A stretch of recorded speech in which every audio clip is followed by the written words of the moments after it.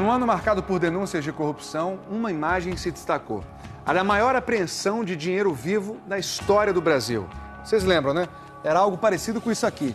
Uma quantidade enorme de cédulas, totalizando 51 milhões de reais escondidos em malas e caixas. O Fantástico teve acesso à investigação da Polícia Federal, que rastreou quem colocou a mão naquela fortuna. E a confirmação veio por uma impressão digital deixada nas embalagens das notas. Era o dedo mindinho esquerdo do ex-ministro Gedel Vieira Lima. Polícia Federal. 14 de julho de 2017. Uma pessoa liga para a sede da Polícia Federal em Salvador e dá uma pista preciosa. O político Gedel Vieira Lima vem colocando caixas em um apartamento no segundo andar de um edifício na rua Barão de Loreto, no bairro da Graça, desta capital, Salvador não sabe informar o número do apartamento, só que fica do lado direito do prédio. Segundo a testemunha, o transporte das caixas era constante nos últimos seis meses. Nessa mesma época, o ex-ministro do PMDB tinha sido preso. No dia 3 de julho, Gedel foi detido por suspeita de atrapalhar investigações da Operação Cuibono, que apurava desvios na Caixa Econômica Federal na época em que ele era vice-presidente de pessoa jurídica, durante o governo de Dilma Rousseff. Ele chorou no depoimento à justiça. Tudo isso para mim aqui é uma, uma surpresa. No dia 13 de julho, ele deixou a penitenciária da Papuda e no dia 14 começou a cumprir prisão domiciliar em Salvador. Exatamente o mesmo dia em que o telefonema sobre as caixas foi feito à Polícia Federal. Assim que a gente recebeu essa informação, a gente passou para uma equipe nossa experiente aqui de análise. Os policiais conseguiram que a justiça determinasse a busca no apartamento. Quando os policiais chegaram aqui na manhã do dia 5 de setembro, eles achavam que iriam encontrar apenas documentos guardados. Não imaginavam que iriam descobrir tanto dinheiro ali, num apartamento vazio, sem nenhuma segurança. Era uma equipe de apenas quatro policiais: um delegado, um escrivão e dois agentes. Eles foram autorizados a entrar pela administração do prédio. Chamaram um chaveiro para abrir o apartamento. Quando conseguiram entrar, a sala estava vazia e as portas dos quartos todas trancadas. Os policiais começaram então a olhar por cada fechadura. Pararam em uma. Eles olharam na fechadura e viram que tinha alguma coisa dentro. Um lençol branco cobria alguma coisa grande.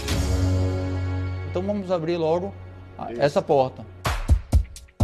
Abrindo a porta, verificaram malas e caixas cobertas com lençóis. Achamos os documentos que, que viemos buscar. Foi o que se pensou no primeiro momento.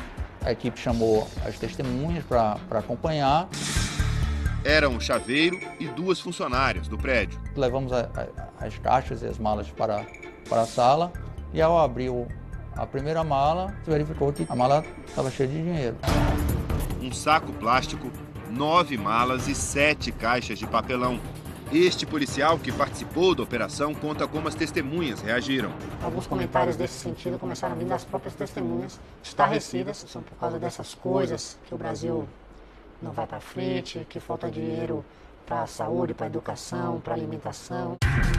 Os policiais levaram as caixas e malas até a sede da Polícia Federal e lá o dono do apartamento foi chamado para prestar depoimento. Ele contou que emprestou o imóvel para o irmão de Gedel, o deputado federal Lúcio Vieira Lima, do PMDB. O local serviria como um depósito para guardar pertences do pai deles, que morreu em janeiro de 2016. Era um indício, mas não era suficiente. Antes de começar a contagem das notas, um policial teve a ideia de procurar impressões digitais. Até aquele momento, não existia uma prova concreta que ligasse diretamente o dinheiro apreendido a Gedel.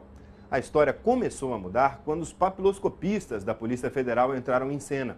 Eles analisaram caixa por caixa, mala por mala e descobriram, num plástico que envolvia um envelope de 100 mil reais, a impressão digital do dedo mindinho de Gedel.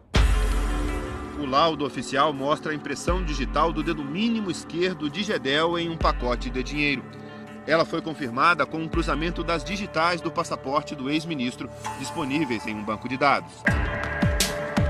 A polícia também identificou o dedo médio esquerdo de Gedel em outro maço e encontrou a digital de uma segunda pessoa, Gustavo Ferraz, que trabalhou com o ex-ministro. Logo depois da perícia, as notas eram liberadas para contagem. A segunda etapa foi analisar impressões digitais que não estavam inteiras nas notas e nas embalagens. Pegamos esses fragmentos que ainda tinham condição e pedimos a ficha de identificação dos outros suspeitos e comparamos manualmente. Foi aí que veio mais um dedo do Gedel e o do Job. Job Ribeiro, ex-assessor de Gedel, teve dois dedos identificados, o médio esquerdo e o anelar esquerdo.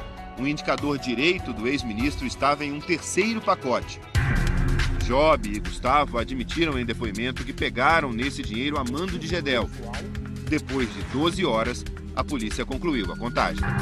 A gente apreendeu 51 milhões de reais. Foram mais de 100 malotes de 500 mil reais. O ex-ministro está indo, olha, ele está aqui, é ele que está aqui, olha. No dia 8 de setembro, Gedel deixou a prisão domiciliar e voltou para a penitenciária da Papuda, em Brasília, onde está até hoje. Ele divide uma cela com outros sete presos. O café da manhã é sempre um pão com manteiga e um achocolatado. No almoço e no jantar, as quentinhas são com frango, carne ou linguiça, com arroz e feijão, às vezes macarrão. Durante o dia, Gedel pode sair da cela e circular pelo pátio e interagir com cerca de 30 presos da ala. De noite, fica na cela, onde tem uma televisão. Há duas semanas, o ex-ministro foi denunciado por lavagem de dinheiro e associação criminosa. Em nota, a defesa de Gedel rechaça com veemência as acusações e diz que a denúncia sustenta-se em uma pretensa notícia anônima. Tem uns dias que a polícia perde, tem uns dias que a polícia ganha. Esse foi um dia de vitória da Polícia Federal e da sociedade como um todo. Mostrar que é possível a gente vencer o crime.